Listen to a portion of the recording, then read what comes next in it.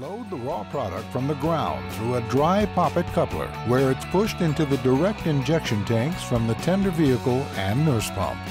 From the cab, enter the target product application rate from the integrated direct injection screen on the GreenStar display.